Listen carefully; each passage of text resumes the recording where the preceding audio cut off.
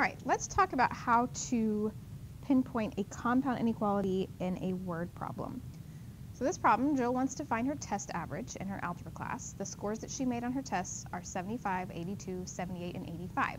What does she need to score on her next test if she wants her average to be between 78 and 80? Okay, right there we see two constraints on her average. They say minimum of 78, maximum of 80. Because there's two constraints, we know this is a compound inequality problem. So I'm going to go ahead and set this up like I've, I've already learned how to do. I put the least number on the left, the greatest number on the right. Okay? So I know it needs to be in between 78 and 80. Now at this point, before I move on, I want to make sure I don't need the little um, equal to symbols underneath my less than symbols. So I go back up to the problem. It says she wants her average to be between. This word between implies that we are not going to put the equal to symbols underneath. We literally want it to be in between not not right on, in between, right? If I told you to walk between two, um, you know, flags or something like that, you wouldn't walk over the flag, you'd go in between them. So we are going to assume that we do not want to include 78 and we do not want to include 80, okay? So her average is going to go in the middle of this, which means we need to create an averaging formula. So it says her tests were 75, 82, 78, 85. And I'm going to go ahead and add an x because her last score has to be included in that because that's what her final average is going to be computed as. So when you're averaging, you add all the numbers up and divide by the number of values, which would be 5. Now I can just solve, right? So I start working backwards. This 5 is like a giant bodyguard, so I want to multiply all three pieces by 5. The 5's cancel. Over here I've got 390. Over here I've got 400. On the inside, I'm going to go ahead and simplify this top um, portion of the fraction, the, the numerator, into just one number plus x, just to save myself some room. So I'm going to go ahead and add her scores. Um, oh, I went a little out of order there. 75, 78, 82, 85. So let's see, what is that? We've got 16, 14, 32. So 320 plus that last score that we don't know.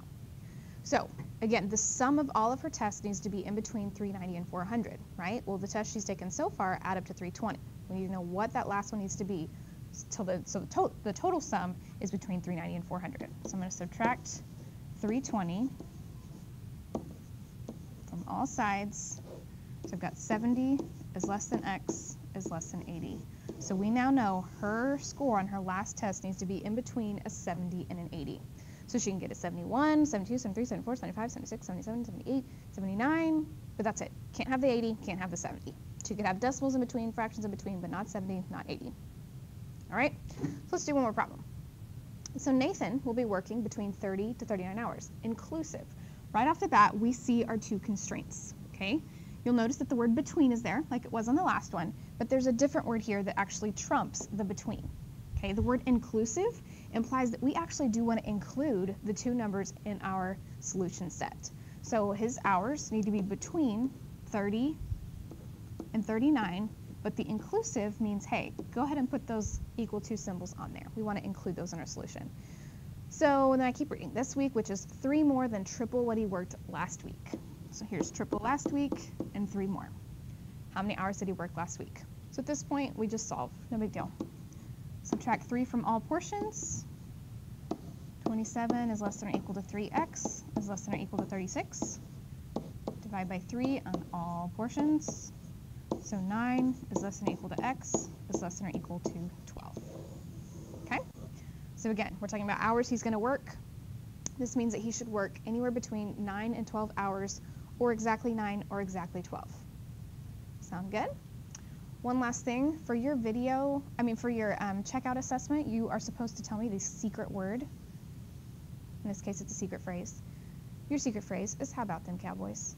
So go ahead and write that down in your journal if you would like to successfully check out of level, level on six, level six.